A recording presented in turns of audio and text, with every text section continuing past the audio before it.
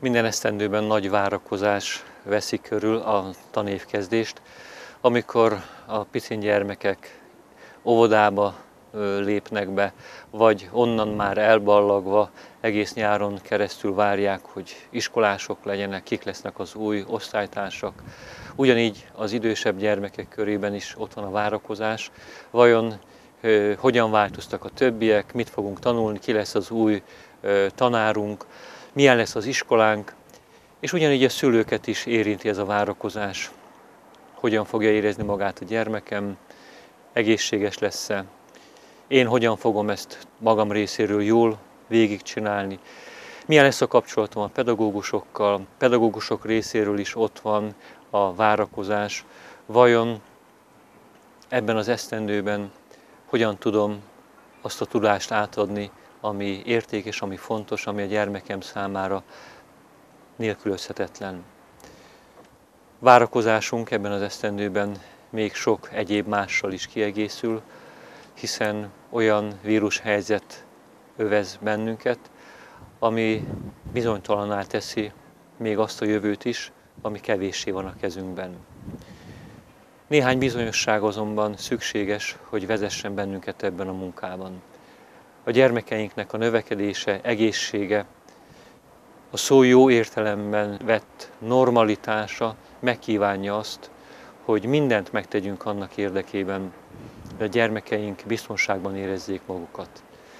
Talán változni fognak az iskolai rendszabályok, talán változni fog az oktatásban sok minden, de pontosan tudjuk, hogy a gyermekeink értelmi, lelki, szellemi, testi és kapcsolati nevelését csak együtt a szülőkkel tudjuk biztosítani.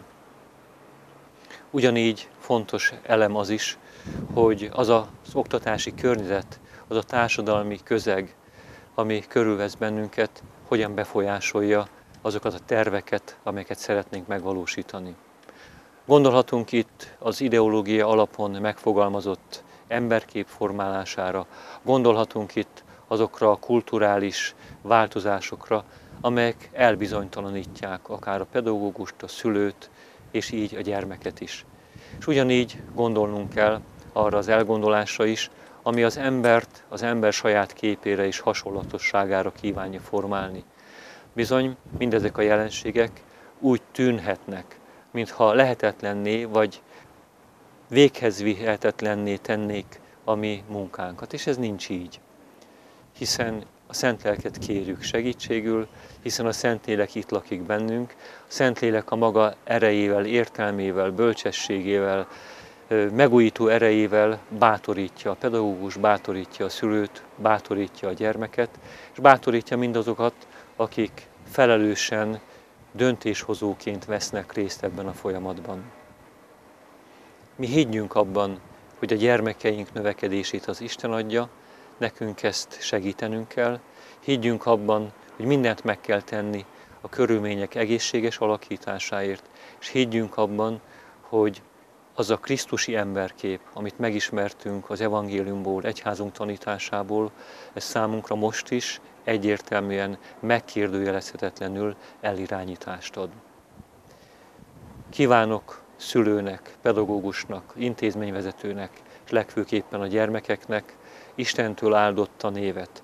Kívánom ezt pedagógus testvéreimnek, kívánom ezt katekéta testvéreknek, kívánom ezt azoknak a testvéreknek, akik nem felekezeti vagy egyházi oktatási intézményben végzik szolgáltukat. A Szentélek erejét kívánom minden testvéremnek, a Veszprémi Főegyházmegyében és a Pécsi Egyházmegyében is. Legyen áldott a szolgálatuk, és bízzunk abban, hogy a gyermekekért minden erőfeszítést megér.